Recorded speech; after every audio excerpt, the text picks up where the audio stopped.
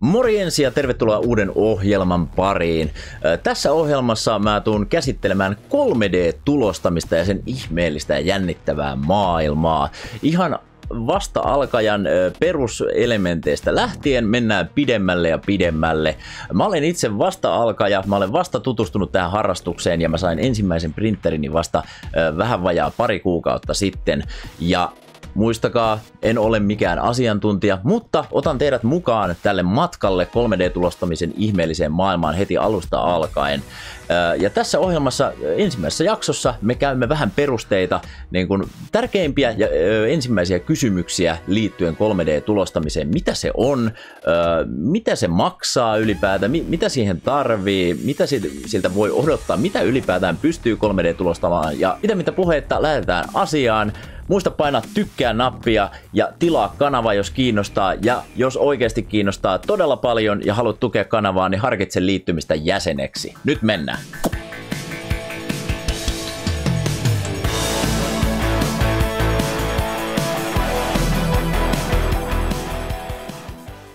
Ensimmäinen ja tärkein kysymys lienee se, että mitä 3D-tulostaminen on?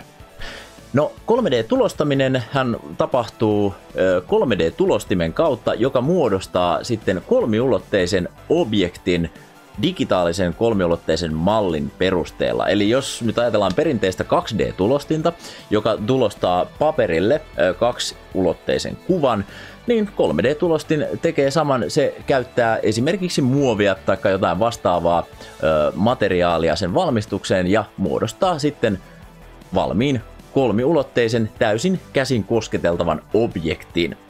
3D-tulostimia on lukematon määrä erilaisia, mutta pääsääntöisesti 3D-tulostimet jaetaan kahteen luokkaan, eli filamenttitulostimiin ja hartsitulostimiin.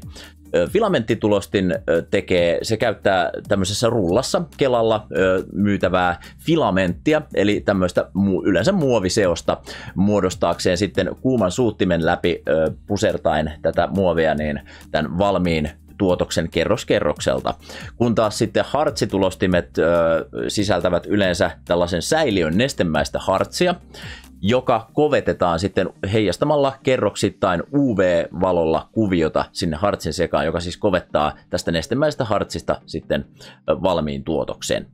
Mutta keskitytään näin alkuun nyt näihin filamenttitulostimiin, koska meikäläisen ensimmäinen tulostin on filamenttitulostin ja en ole vielä perehtynyt hartsitulostamiseen, mutta aion kyllä sen tehdä, eli ihan varmasti tässä ohjelmassa päästään myös hartseja ihmettelemään. Tässä on mun ensimmäinen 3D-tulostimeni. Tämä on siis filamenttitulostin ja tämä on Anycubikin Chiron mallinen vehje. Tämä on itse asiassa aika iso tulostin. Tässä on 400 milliä kertaa 400 milliä kertaa korkeussuunnassa 450 milliä tulostustilaa, joten tämä on siis kaiken kaikkiaan vähän sieltä niin kuin isommasta päästä, tai ei niin vähäkään, tämä on itse asiassa järkyttävän kokoinen.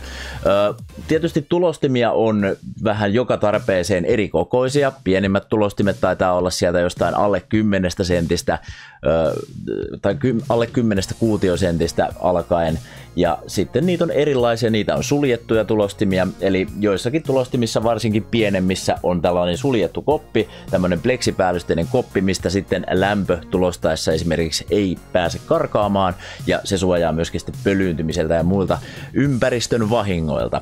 Mutta tämä on avomallinen filamenttitulostin, ja tämä nyt on sikäli ihan hyvä, että on avomallinen, koska jos ajatellaan, että tässä olisi vielä sitten semmoinen pleksikoppi ympärillä, niin tämä veisi joka suuntaan aika paljon enemmän vielä vielä tilaa jo entuudestaankin, kun iso on. Tulostimessa on tota, liikkuva suutinpää, joka liikkuu sitten moottoreiden varassa tuossa Z-akselilla ylös alas ja sitten siinä on lämmitettävä tulostin alusta, johon sitten tulostus jää, jää tota noin, niin lämpöisenä kiinni eikä pääse karka- karkaamaan pois paikaltaan. Ja tulostusalusta sitten myöskin liikkuu edestakaisin sen mukaan, kun kone sitten piirtää objektia, mutta katsellaan näitä teknisiä juttuja sitten ehkä myöhemmin lisää. Tämä kone toimii kaikessa yksinkertaisuudessaan sillä tavalla, että kun napsautetaan virta päälle, niin tästä pienestä näytöstä me pystytään käyttämään konetta manuaalisesti. Kone lukee printtitietoja kortilta, mutta sen voi myös yhdistää kaapelilla suoraan tietokoneeseen kiinni.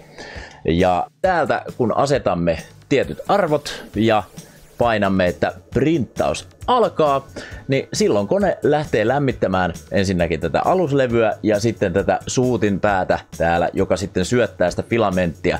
Ja filamentti on täällä sitten, tässä mallissa se on täällä sivussa rullalla. Filamentit tulee tämmöisissä rullissa eli keloissa ja kela syöttää sitten täältä filamenttitunnistimeen tätä filamenttia, joka sitten kulkee täällä putkea pitkin. Ratas pyörittää sitä koko ajan eteenpäin sitä mukaan, kun suutin sitä tarvitsee tänne ö, kuumapäähän eli, eli suuttimeen. Ja täältä se sitten suutinpää alkaa liikkua tässä lämmitetyn aluslevyn päällä tehden sitten työtään. Eli käytännössä hyvin yksinkertainen systeemi, mutta erittäin monimutkainen silti kaikessa tekniikassaan. Eli kuten mä mainitsin, niin kahdella eri tekniikalla yleensä tulostellaan. Filamenttitekniikalla, jolloin filamenttia syötetään suuttimen läpi, joka sulattaa sitä mallintain tai muodostaen tämän ö, valmiin tuotoksen. Ja sitten toinen tekniikka on hartsitulostaminen, mutta sitten taas jossain tulevaisuudessa, kun olen päässyt tutustumaan enemmän hartsitulostuksen taikoihin, niin käydään tätä läpi. Mutta keskitytään tällä kertaa nyt ainakin tähän alkuun enemmän filamenttitulostamiseen. Mitä ne filamentit sitten on? No ne on yleensä tällaista, tota, ei välttämättä niin myrkyllistä muovia, mutta tietysti erilaisia seoksiahan on. Yleisin nykypäivänä käytetty filamentti filamentti on PLA. Eli PLA on tällaista hyvin turvallista, myrkytöntä, ainakin näin väitetään, myrkytöntä muovia, eli se ei päästä siis sulaessaan ja kuumentuessaan kauhean myrkyllisiä kaasuja esimerkiksi huonetilaan, joten sitä voi aika turvallisesti ainakin tiedon mukaan käyttää, mutta en ole asiantuntija, en ole kemisti, en voi tähän täysin koskaan luottaa, enkä vakuuttaa teille. Filamentteja tulee siis erilaisia, kaikissa erinäköisissä väreissä on saatavilla. On kirkasta, on valkoista, mustaa, kaikkia eri värejä, sitten on metallihohtoisia värejä, on sekavärejä, siis kaikkea mahdollista on saatavilla. Mutta PLA on periaatteessa se yleisin filamenttiformaatti ja se on siitä mukavaa, että se on helppoa printata. Sen kanssa yleensä harvemmin tulee mitään suuria printtiongelmia. Tietysti aina filamenttien kanssa jonkunnäköisiin ongelmiin kannattaa varautua, koska 3D-tulostaminen ei koskaan ole sitä, että sä saat tulostimen ja painat nappia ja asia syntyy itsestään. Asiat ei ole niin yksinkertaisia 3D-tulostuksen kanssa, mutta me mennään kyllä tähän asiaan tässä myöhemmin. PLAn lisäksi ö, on sitten tota, yleistynyt viime vuosina tällainen kuin PETG-muovi. Ja PETG-muovilla on vähän samanlaisia ominaisuuksia kuin PLAlla. Ensinnäkin sekin on ö, ainakin nykytiedon mukaan myrkytöntä, Eli sekään ei aiheuta tämmöistä välitöntä ö, tukehtumisvaaraa, jos samassa huoneessa printtailee. Toki hajut ovat aina, no enemmän tai vähemmän omituisia, joitakin se haju miellyttää, joitakin se ei ollenkaan miellytä. Mutta tota, mikä PETGstä tekee erilaisen PLAhan verrattuna, niin se on pikkaisen taipuvaisempaa, kestävämpää. Eli se kestää vähän enemmän kolhuja, eli jos haluaa esimerkiksi tulostaa tällaisia käyttötavaroita, esimerkiksi vaikka niin kuin rattaita ja tällaisia kuluvia osia, moni tulostaa esimerkiksi auton varaosia PETG-muovista, niin tämä on oikein hyvä ratkaisu siihen. Se, mikä erottaa sen PLAsta, niin PLA on pikkaisen hauraampaa ja kovempaa, eli ainakin tietyn tiettynä ohuina kerroksina niin PLA ei hirveästi vääntöä kestä, eli se tuppaa halkeamaan. Mutta PETGssä sitä ongelmaa ei välttämättä niin helposti ole. Toki ei sekään mitään timantin kovaa ole.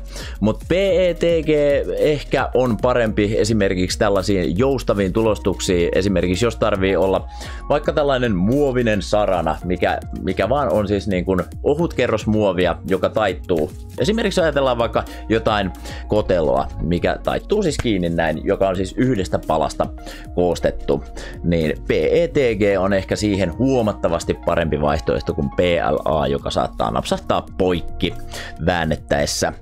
No sitten yksi vanhimmista ja ensimmäisistä filamenteista, mitä käytettiin, on ABS, ja tässä nyt ABS itse asiassa on tämmöisessä tyhjiöpakatussa paketissa vielä aukaisemattomana, ja nämä pakataan nämä kaikki filamentit tyhjiöpakkauksiin sen takia, että nämä kerää hirmu helposti kosteutta. Vähän riippuen siitä materiaalista, onko se PLA, ABS, PETG, niin tota, kosteutta kertyy näihin ajan saatossa, varsinkin vähän riippuen huoneilman kosteudesta ja lämpötiloista, niin nämä on kyllä herkkiä sitä imemään, ja jonka takia nämä kannattaakin yleensä varastoida kuivassa ja huoneen lämpöisessä tilassa, ja mieluiten vielä niin kuin suljetuissa paketeissa niin kauan, kun niitä ei vielä tarvitse avata.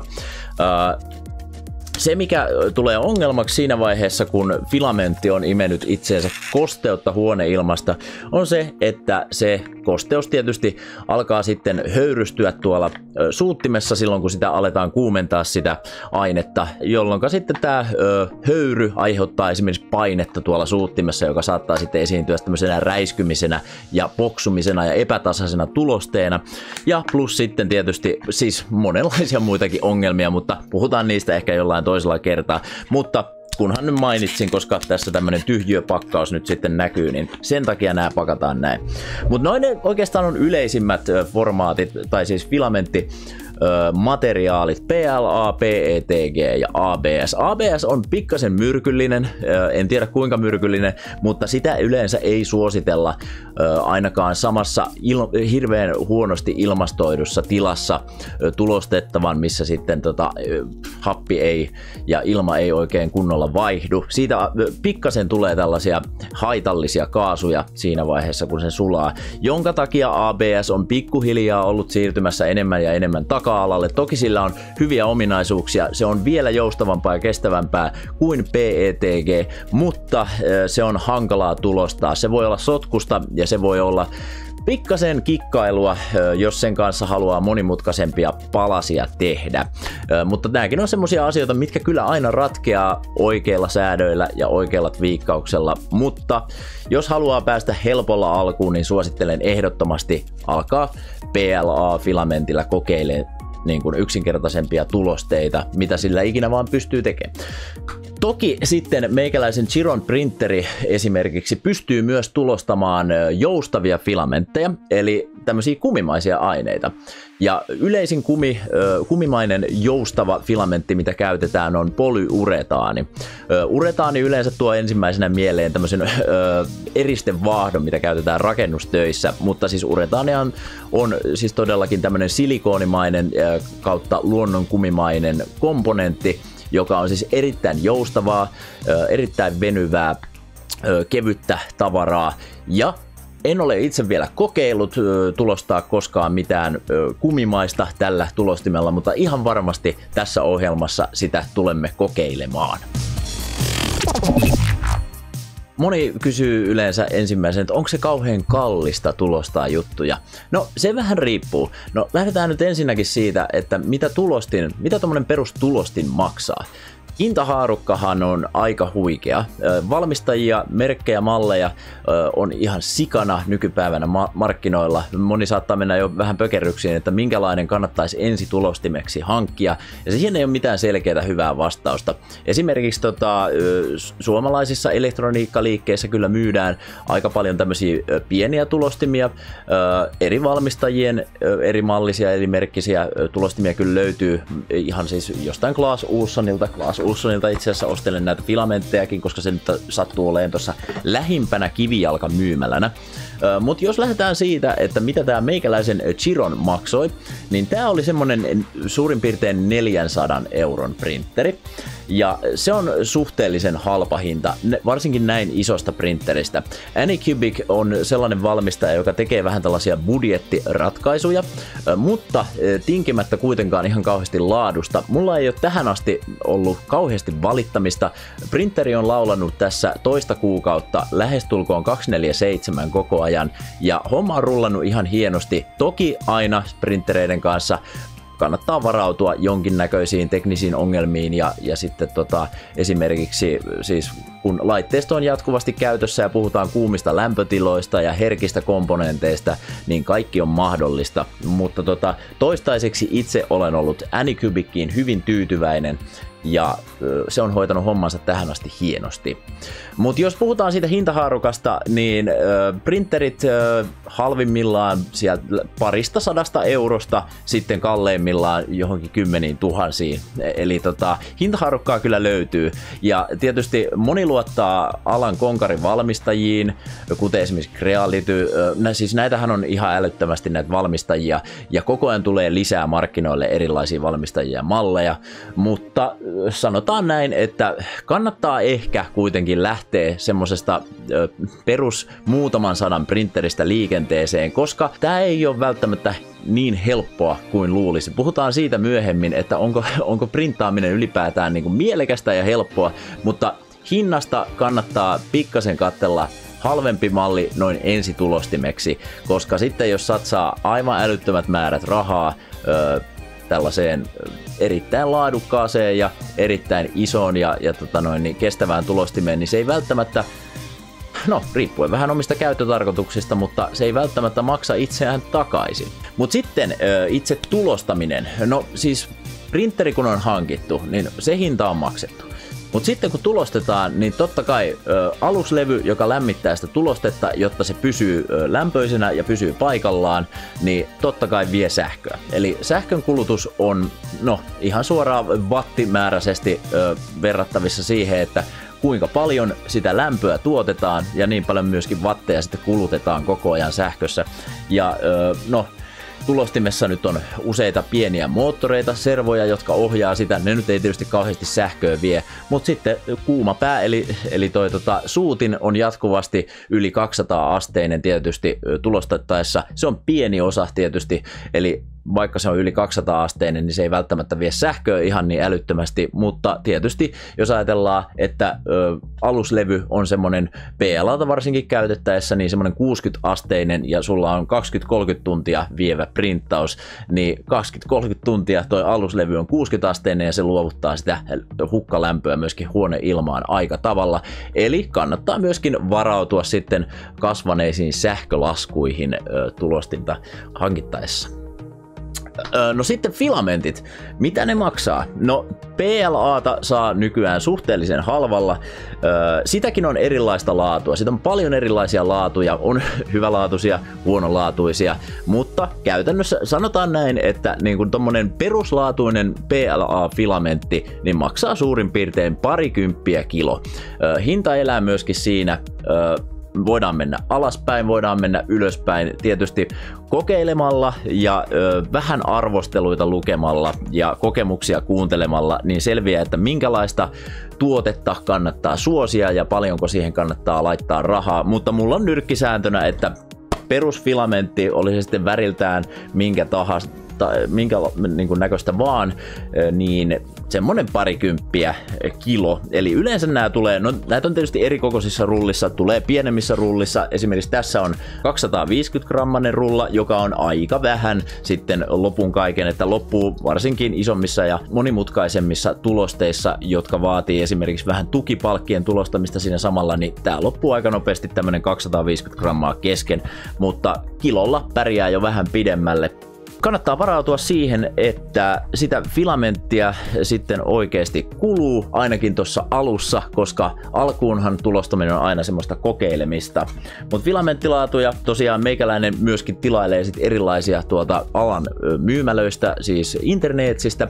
Ja tietysti sitten ihan peruskäyttöön, niin mitä nyt sattuu tuosta esimerkiksi Glass niin kuin mainitsin, ei, en mainosta tässä mitenkään, mutta tota, siitä nyt sattuu löytyy näitä peruslaatuja ihan kivasti. Sieltä löytyy löytyy ABS, PLAta ja PETGtä. Mutta sitten jos halutaan vähän erikoisempia materiaaleja, eli esimerkiksi sitä PTUta, eli uretaania, kumimaista ö, flexible filamenttia, niin yleensä niitä sitten täytyy tilailla tuolta verkkokaupan puolelta.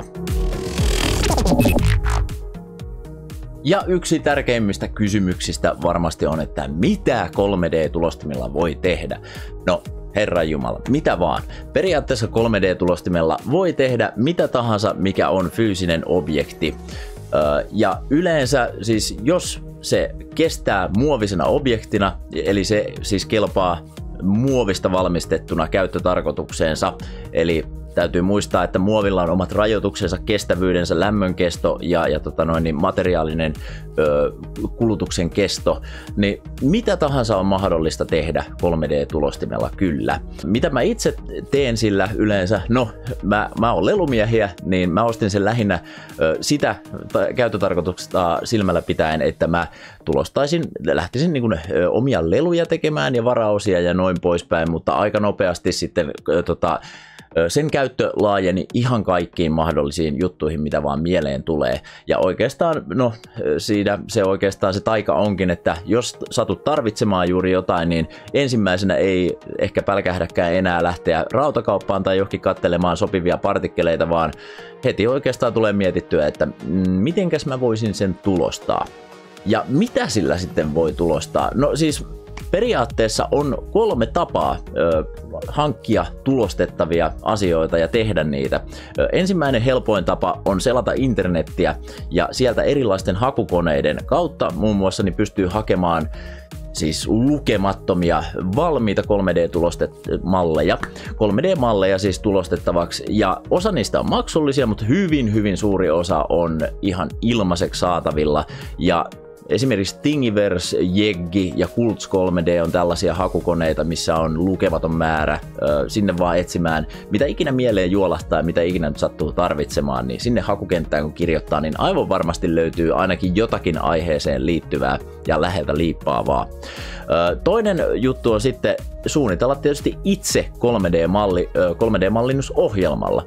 Yksi yleisimpiä ohjelmia, mitä mäkin olen nyt tässä ruvennut käyttämään ja opiskelemaan hyvin pienin askelin eteenpäin, mutta tota, Blender on sellainen hyvin perusilmainen ohjelma 3D-suunnitteluun. Tietysti siinä on hyvin, hyvin jyrkkä oppimiskäyrä, olen sen itsekin saanut todeta, mutta ehkä me puhutaan enemmän jollakin toisella kertaa ja tarkemmin siitä hommasta, mutta 3D-malli mallien suunnitteleminen itse on täysin mahdollista, eikä mitään todellakaan mitään rakettitiedettä, vaikka ohjelmien käyttöliittymät saattaa ensi alkuun vähän säikäyttää. Sitten kolmas metodi on skannaaminen. On olemassa 3D-skannereita, ihan ammattikäyttöön tarkoitettuja isoja skannereita, toimivat siis sillä niin kuin logiikalla, millä, millä esimerkiksi 3D-kamerat toimivat, eli niissä on useampi linssi, joka sitten tallentaa kohdetta fyysisesti ympäristöstä eri kanteilta ja luo siitä sitten digitaalisen mallin. Toinen vaihtoehto näille kalliille 3D-skannereille, jotka yleensä siis on tosiaan ammattikäyttöön tarkoitettu, niin on älypuhelinsovellukset. Ja älypuhelimiin, varsinkin iPhoneille eli iOSille, on olemassa lukematon määrä erittäin hyviä ja erittäin laadukkaita ohjelmia, joilla pystyy oikeasti tekemään melkoisen siis vaikuttavia skannauksia jopa isoistakin kohteista. Androidille on valitettavasti vähän huonosti tarjolla ed- siis edelleenkin näitä 3D-skannausohjelmistoja, mutta jotakin sillekin löytyy ja puhutaan näistä sitten ehdottomasti lisää toisella kertaa. Mutta skannaaminen, jos sulla on fyysinen objekti, esimerkiksi vaikka eh, tämä PLA-filamenttirulla, niin sen voi skannata oikealla laitteistolla ja sitten ö, muuttaa 3D-malliksi digitaaliseen muotoon ja tulostaa sitten tulostimella. Eli tavallaan niin kuin kopioida erilaisia objekteja. Ja tietysti matkan varrella näitä skannattuja objekteja voi tietysti sitten siellä 3D-suunnitteluohjelmassa muokata mielin määrin. Eli vain taivas on rajana. Ja viimeinen, mutta erittäin tärkeä kysymys on se, että onko se helppoa? No, en aio valehdella tässä vaiheessa, koska 3D-tulostus ei suinkaan ole sitä, että käyn kaupasta hakemassa printerin, kuten hakisin esimerkiksi 2D-printerin, kytken sen kiinni koneeseen ja painan nappia ja se tekee minulle kaiken työn valmiiksi. Tilanne 3D-printereiden kanssa ei ole suinkaan näin yksinkertainen. Siinä kannattaa varautua myöskin jonkinmoiseen oppimiskäyrään, mutta Mä en halua pelotella teitä liikaa. Mikäli asiaan paneutuu, mikäli jaksaa nähdä sen vaivan, että, että oikeasti opettelee ne asiat alun alkaen, ottaa asioita huomioon, jaksaa olla kärsivällinen, niin asiat alkaa kyllä rullaamaan ja pikkuhiljaista tajuaa, mihin juttuihin kannattaa kiinnittää huomiota ja, ja niin kuin välttää tietyt sudenkuopat tulostamisessa. Tietysti se on jatkuvaa oppimista. Mäkään en tiedä kuin ihan murtoosan vasta perusalkeista. Mä oon vasta raapaissut pintaa tässä parin kuukauden aikana. Mutta jo nyt alkaa olla semmonen pieni kutina, että miten nämä hommat toimii. Yleensä kun lähdetään tekemään tulostetta, niin tosiaan meillä on se malli, mikä me halutaan tulostaa. Ja meillä on ohjelma nimeltä Slicer. Mä en oikein tiedä, mikä sen suomenkielinen versio voisi olla. Onko se sitten Slicer-pilkkoja tai höylääjä. No, mutta Slicer-ohjelmaksi kutsutaan tällaista ohjelmaa, jossa määritellään sille 3D, tulostettavalle 3D-mallille kaikki parametrit ja kaikki tieto, miten se tulostetaan siinä tulostimessa, jolla se aiotaan tehdä. Eli siellä määritetään kaikki, esimerkiksi tulostusnopeudesta, tulostuslaatuun, suuttimen koot, suuttimen linjan paksuus, siis kaikki tällaiset pienet asiat, mitä printeri tarvitsee tietää, että se pystyy tulostamaan kohteen. Ja slicerin käyttö on ehkä se mm, joitakin eniten jännittävä juttu tässä, koska siellä on paljon juttuja viikattavana. Siellä on lukematon määrä erilaisia arvoja, joita täytyy vaan antaa tälle printerille, jotta se tietää mitä tehdä.